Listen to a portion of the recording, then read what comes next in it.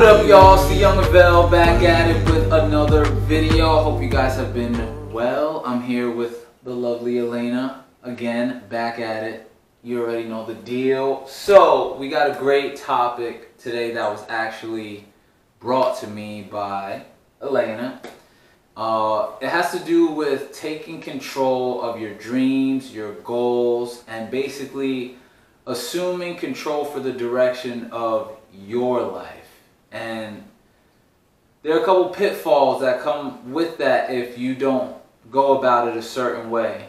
So the main one of the main things is establishing boundaries because when you pick a direction, when you want to go somewhere in life, you're going to inevitably be faced with obstacles. So I know you're talking about recently some you had to deal with, something that you're learning in terms of that saying that magic word, not yes, but no.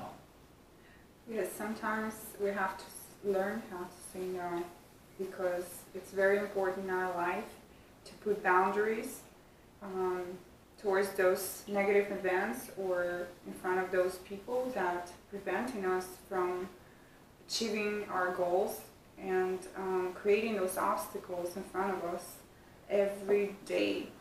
So saying no, putting boundaries, explaining them early in a state of that occurring uh, when it happens, uh, saying no is very important because um, what happens later it can lead us to um, disappointments. Let's say uh, we want to say no, but we're kind of like, oh, I'm pathetic Mhm. towards a person. We don't want to say no, but we do.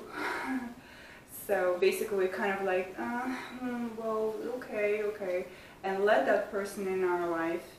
The person starts controlling our life in a way, and um, it's not what we want. So what happens?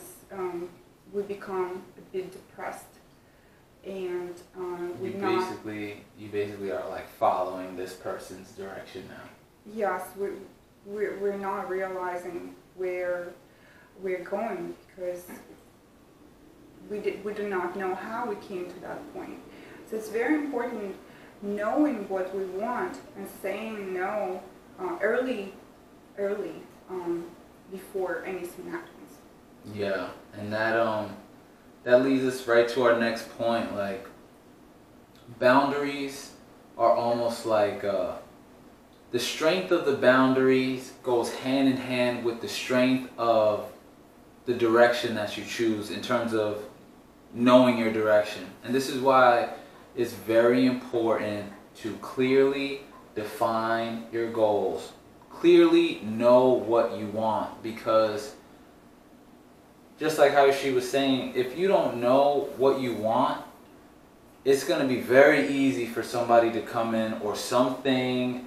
It could be it could be as e- as simple as a, a a negative comment on something. If you don't have a strong enough, clearly defined direction of like, no, I'm going for this no matter what.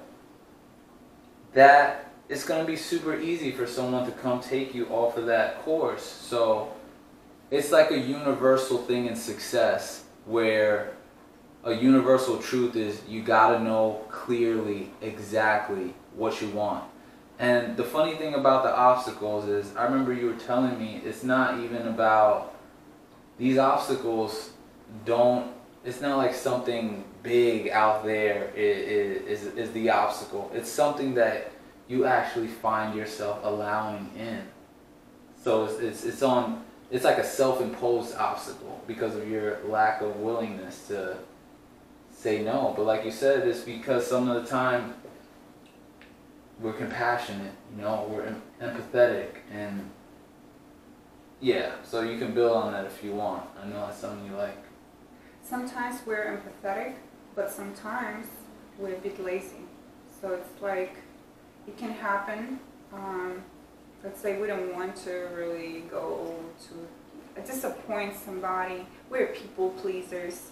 So we have to remember stop pleasing everyone in our life because Mhm. they do not really care um, about what the goal is, your goal is, but they care about their goals. So it's basically, you have to look at it like this. All right, um, when you say no firmly, not disrespectfully, but firmly, um, you're setting the boundaries and they cannot come in into that door anymore because it's just done. So, and if they do, um, well, you have to fight for. You, have You to gotta fight make that boundary strong. so let's say that you do have your boundaries set, you do have your goals set, your direction set. So I want to know what is your morning routine in terms of what you see for yourself, in terms of what you want to attract and what you want to build for yourself. I know you're in school now. You're you're in school, so you got a map of your next moves. Yes.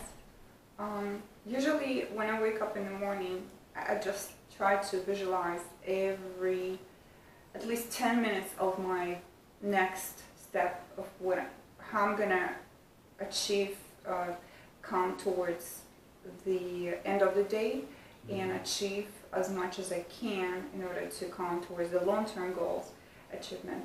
And um, so basically, I see like I, ha- I have to see myself waking up really positive and going to the kitchen and making this great breakfast. And Mhm.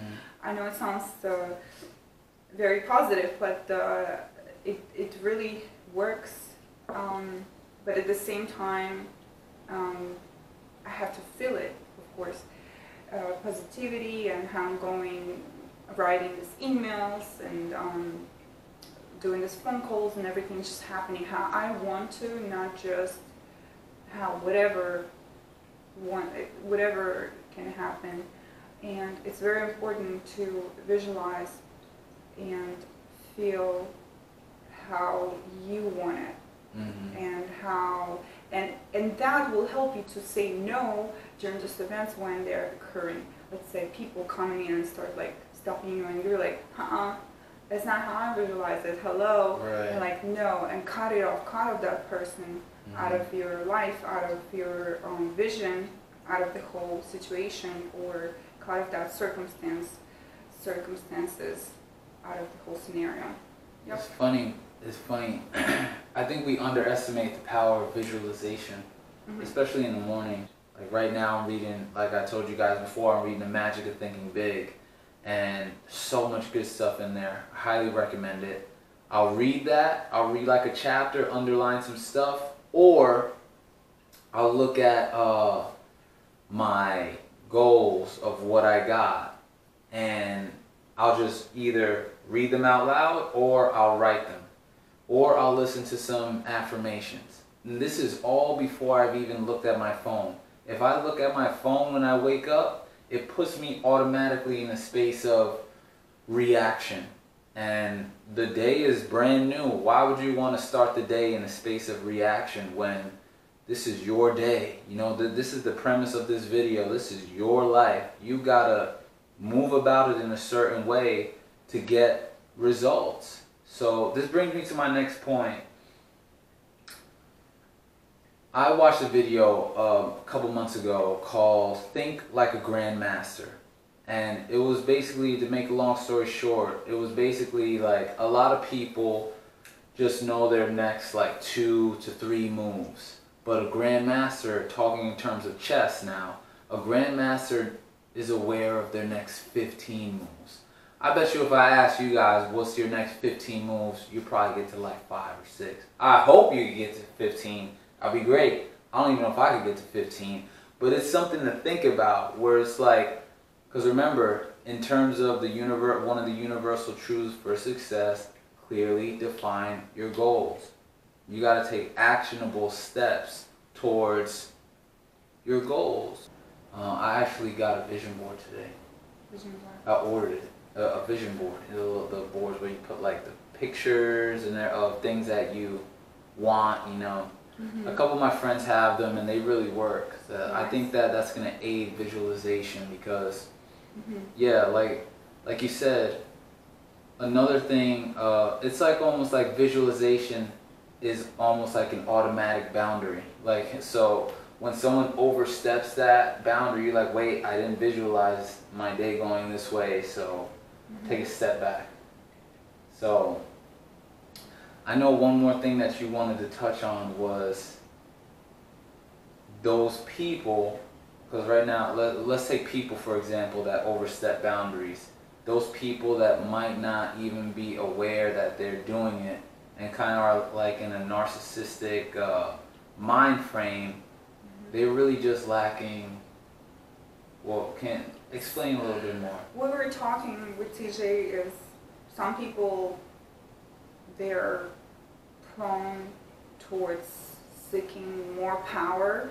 They're just uh, because they they feel like they lack love, or maybe don't even understand they lack enough love, and their subconscious mind is consistently um, blocking them from self-love, and what they're seeking is power. So basically, uh, this kind of people will prevent us from our self-love, Mhm. and it'll be easy to do if we don't know our boundaries and we don't have that strength to say no and block them, and com- not compete, but like push them off. Mhm. Um, yes, and it's very important to just um, remember that we're all worth of love. We're all worth of love. Um, we are special. We're special people on this earth, and um, we have to remember that. We have to remember putting some our conscious mind everywhere. Stop the fears and the anxiety preventing us going towards our goals because that will will block us from saying no to those people or events or some kind some some energies or just something will be uh, preventing us uh, from moving forward being great being productive being um, doing what we want to do and um, going towards success. All right, Love yourself. That's directly tied to this is your life, your goals. You got to take action. And just like we were saying, establish those boundaries. Establish those boundaries, but clearly know what you want because we got one life here, at least in this lifetime. And we can do whatever we want with it. So let's do what we want with it, what we want, because we're worth it. So that's all we really wanted to talk about today. I think we touched on everything that we wanted to touch on. Yes. Love So- ourselves, love others, respect ourselves, respect others. Basically, underline the whole scenario point. And make it crack. You got something you want? Go after it, because you can do it. So the link is in the description. The link is in the description. You already know. So if you got anything from this video, be sure to share, like, comment, and subscribe. And until next time, remember, greater perspective can lead to a greater connection.